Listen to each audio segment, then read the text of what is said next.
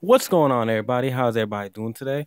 My bad about all of the the gaps between all of my videos and stuff, and I haven't done a video in a long time.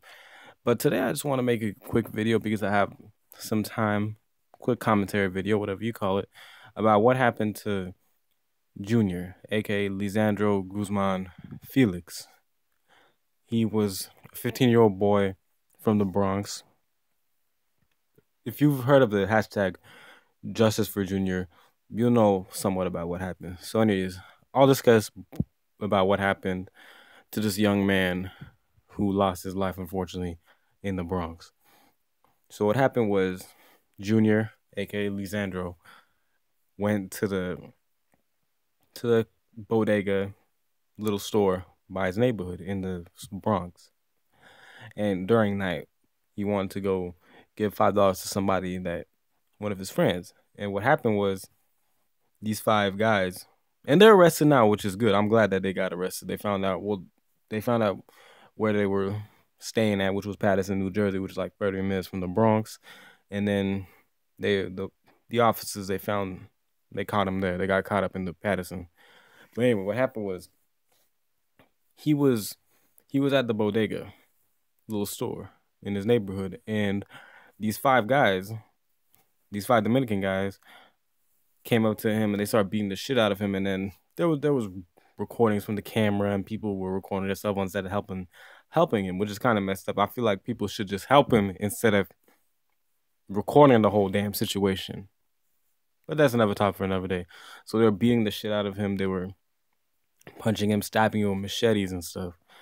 And then and then he was just on the floor bleeding and then they were just recording it. Like instead of recording it how about you help him? He could have still been alive today. Unfortunately he's dead and he, he was killed and then they buried his body. They may his soul rest in peace and then may his family get my condolences go out to his family and i hope his family's doing well. And i hope those guys rest that killed him rest in hell and they get the death penalty to be honest Anyways, and then they said the reason why they stabbed him. This is a piss. This is shit that pissed me off. They stabbed him with a machete and killed him, is because of their sister or one of their female cousins.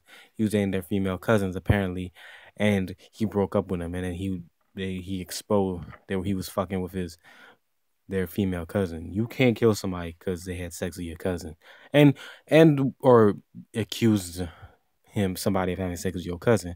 And then the worst part is that the the five men, grown ass men, by the way, who killed this boy, this man, was that they said at the end, oh wait, this wasn't the guy. So you assume that because he looked like he looked like the guy that slept with your female cousin, he looked like it. You didn't even have any proof that he was the one. You went up to him and you killed him. So you killed a random guy.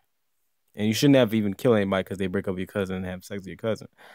That's just me though. You that's not somebody that's not worth killing somebody over. But man, this was a whole damn messed up situation to be honest. And I'm gonna say this: they're lucky that New York wasn't open carry state. Otherwise, somebody would have blowed their brains out with a pistol. I'm just saying. That is what it is. They would have blown out all five of those cats. But rest in peace, Junior. May your soul rest in peace. May those, may those guys that killed you rest in hell and get killed in prison. I hope they get killed, slaughtered in prison with a prison shank. And yeah, man, it's a whole fucked up situation. Sorry about all the cursing, but you know, I gotta, I gotta say, sometimes you gotta say what's on your mind and they're straight simps too. They didn't even. It's real messed up. It's real messed up, man. Shit. It's real messed up.